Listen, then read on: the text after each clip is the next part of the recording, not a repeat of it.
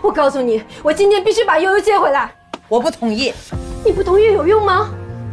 不是你真有意思，这个人。哎，这个孩子是你自己要的啊。悠悠现在在那感冒呢，你你干嘛？你把他接回来干嘛？交叉感染啊？你能不能作为一个母亲，对自己的孩子负点责任啊？你，妈，你太过分了！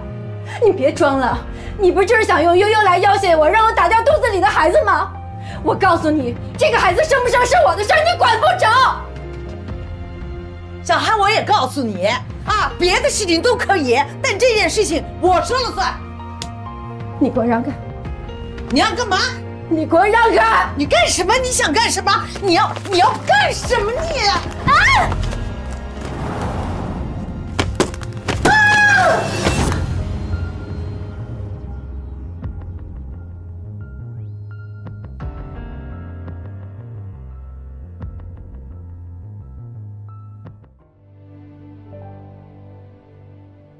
小韩，你现在感觉怎么样？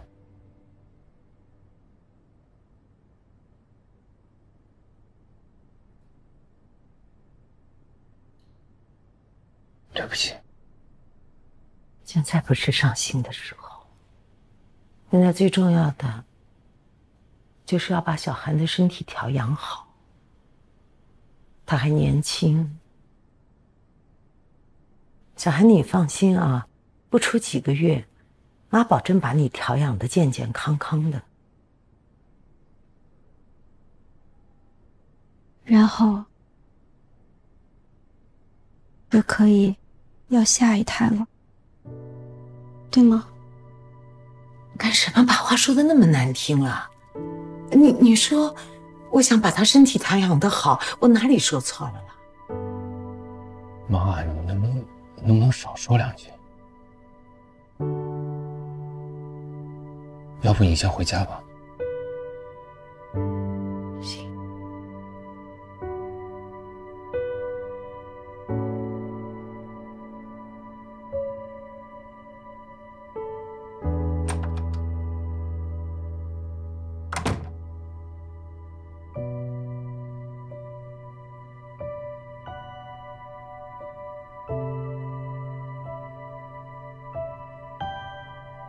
我记得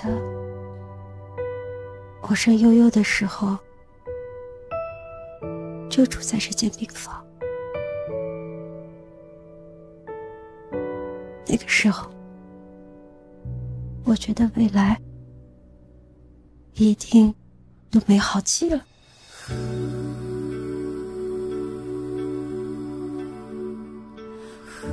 老婆，你别多想。这这就是个意外，发生这样的事情，谁都不愿意。我妈这个人说话难听，她总是重男轻女。可你也知道，这老一辈的人多少都有点这样的毛病的。现在孩子没了，我相信。他的心里一定也很难受。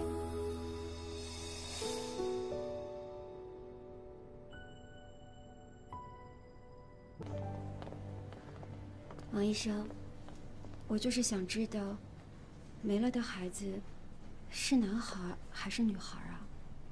是男孩。王医生，你说的是真的假的？什么真的假的？不是你当时明明跟我说，你说那是个女孩子的。我什么时候跟你说那是个女孩子了？过去把那个水哗就这样泼掉了，家是女儿泼出去的水啊。思阳，你的家事我先回避一下。啊。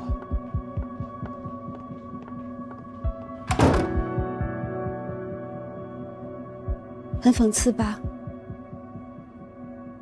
你一直想让我打掉这个孩子，现在如你所愿。孩子没了，但却是你一直最看重的孙子。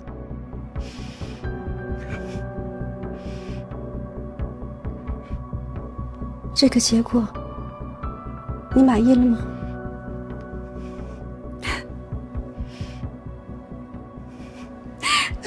全都怪你那个同事，我跟你说，都怪他。我我当时进去的时候，我给了他一万块钱。妈，你现在说这些东西能有什么用啊？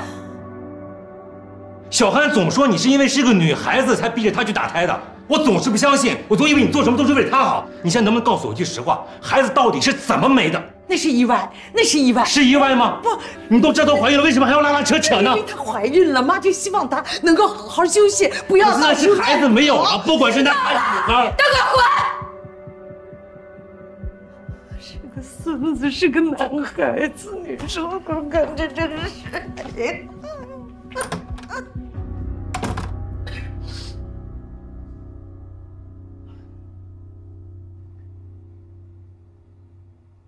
小韩，对不起，都是我妈的错。我代我妈向你道歉。田思阳，以前我为了悠悠，为了你，你妈妈说我什么我都忍着，因为我总是有一点点希望。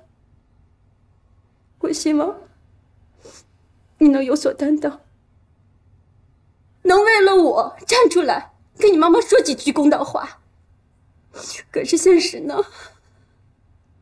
你明明知道我受了委屈，你就是可以做到一声不吭。你以为你戴上耳机就什么都听不见了吗？你这是在做缩头乌龟。这世界上的婆媳关系，就是因为有你这种不作为的老公。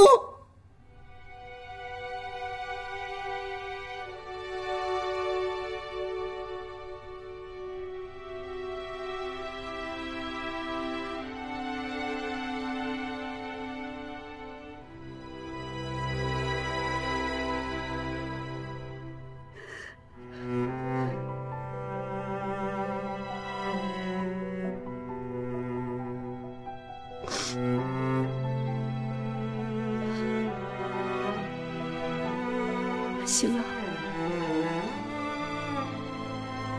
你继续做你的好儿子。出院以后，我自己带悠悠。以后，我们各过各的。